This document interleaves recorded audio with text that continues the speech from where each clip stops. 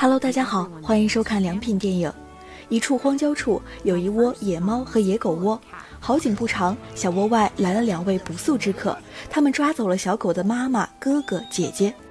小黄狗靠喝猫奶长大。这天，卢卡斯带着奥利维亚来到了废弃的房屋旧址。卢卡斯每天都会带着食物来喂小猫们，小猫们都很信任他。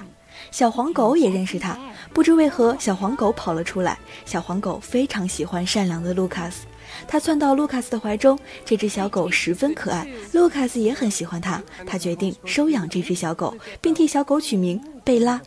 卢卡斯说服了妈妈，在家养着贝拉。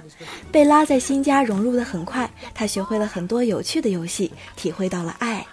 他喜欢那个卢卡斯的毯子以及小小知识的游戏。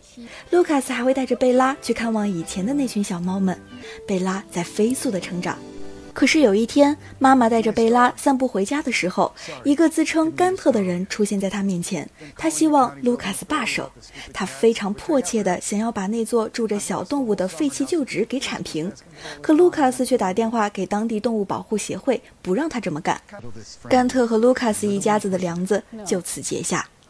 到了冬天，天空下起大雪。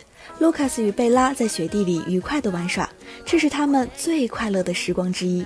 卢卡斯回家时收到了房东的便条，他明天要来房子里检查水龙头。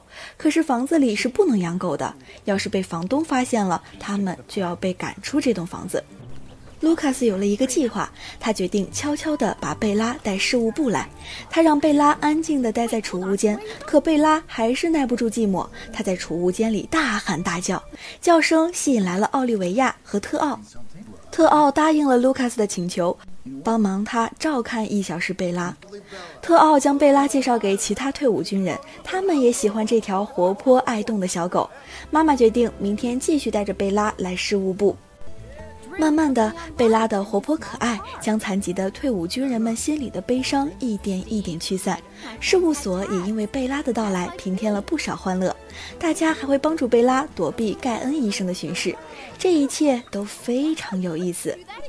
不久后，卢卡斯带贝拉回家时，发现有人正在拆除那座住着小猫的废弃旧址。卢卡斯勇敢地上前阻止了甘特的行为。奥利维亚则通过郡委委员取消掉了甘特的许可证。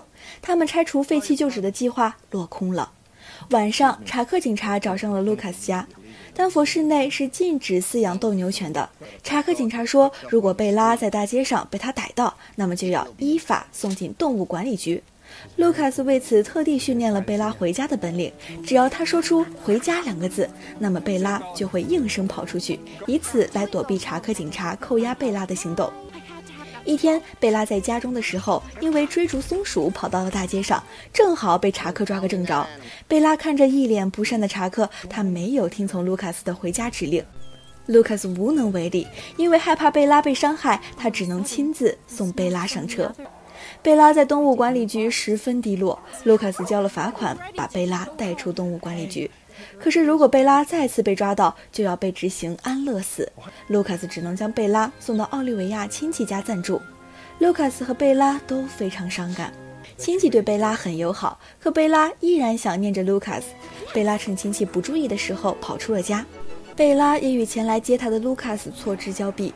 从此，贝拉踏上了长达四百英里的回家之路。在荒山野岭的待了一晚上的贝拉又饿又累，他知道要想填饱肚子，就要往人类居住的地方去。在这里，贝拉认识了一群流浪狗。贝拉和流浪狗一起在街道觅食，填饱了肚子。到了晚上，狗群们都各自回家。爆炸头想让贝拉跟他一起回家，可贝拉还是决定回到卢卡斯身边。他独身继续着回家之旅。贝拉在山上目睹了猎人们枪杀了一头美洲豹，可怜的小美洲豹失去了妈妈。贝拉心里把这只美洲豹当成大猫咪，失去妈妈的大猫咪远远地跟着贝拉身后。于是贝拉肩负起猫妈妈的作用，开始照顾大猫咪。白天为了不挨饿，贝拉不得不去偷人类的食物，而到了晚上，他们就相互依偎在一起取暖。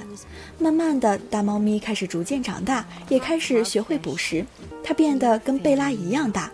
贝拉把这只大猫咪当做了自己的家人。一天，贝拉和美洲狮在湖边觅食时被狼群围攻，危急时刻是一群人类出现在这里，赶走了狼。大猫咪害怕人类，便独自走了。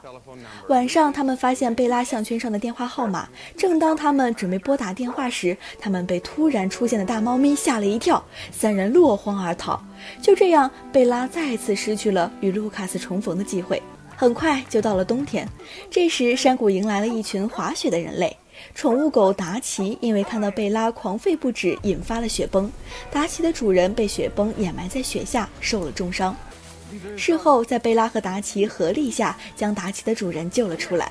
嘉文只能代为收养贝拉和达奇。贝拉迫不得已被带离了大猫咪身边，他又一次体验了与家人分离的痛苦。嘉文猜出了贝拉的名字，他是个很好的主人，给了贝拉食物以及柔软舒适的地方。他让贝拉又体会到了家的温暖。好景不长，达奇的主人出院了，嘉文必须归还狗狗。他带着狗狗来到了达奇主人的家中，可是躺在床上的科奇并不高兴，他放弃了达奇。其实这样的主人也不值得达奇追随，因为他注定孤独一辈子。嘉文很开心能收养贝拉与达奇，他带着他们来郊外散步。嘉文解开了贝拉的项圈，回家的念头又出现在贝拉的脑海中。达奇希望贝拉留下，成为新家庭的一员，可回家的执念却不允许贝拉这么做。他还是离开了嘉文。贝拉最后的回头一望，他知道达奇找到了他的卢卡斯，现在他该去寻找他的卢卡斯了。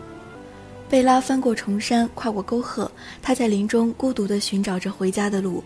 这一次，他又感到了饥饿，想填饱肚子，就必须去有人的地方。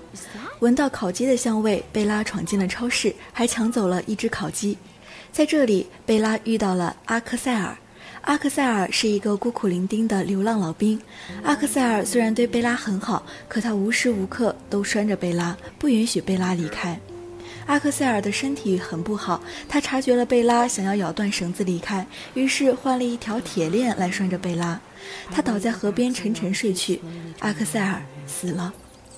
贝拉被一直拴在阿克塞尔身边，他无法离开这里。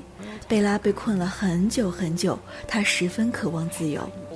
两个小孩的出现打破了这个僵局，他们解开了贝拉，让贝拉重回自由。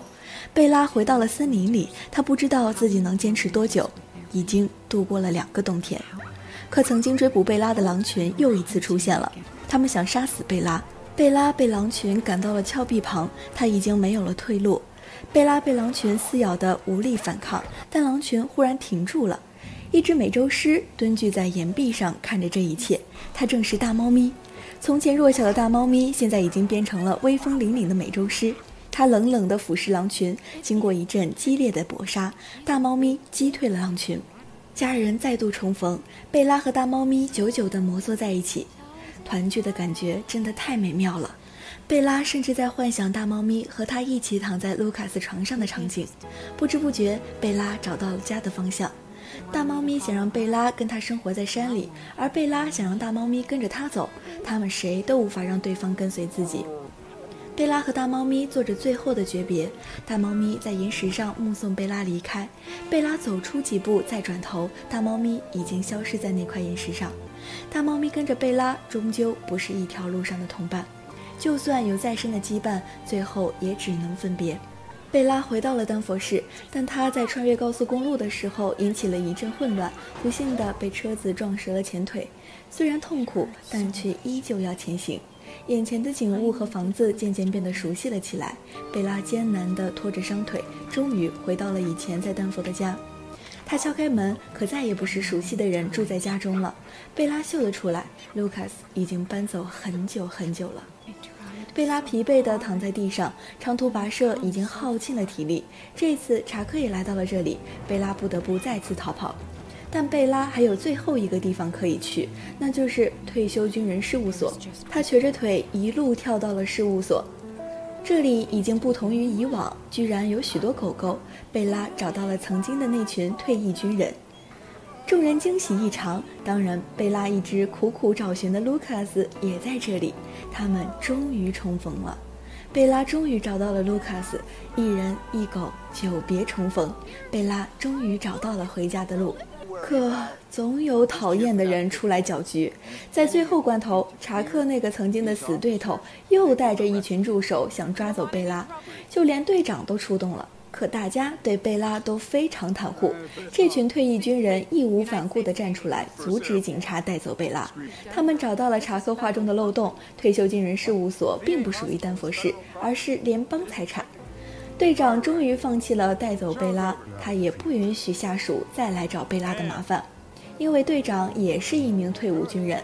卢卡斯如愿以偿地留下了贝拉，他带着贝拉来到了位于格尔登的新家。在经历千山万水、跋涉四百余英里之后，贝拉终于又回到了拥有卢卡斯毯子和小小知识游戏的那个温馨的家。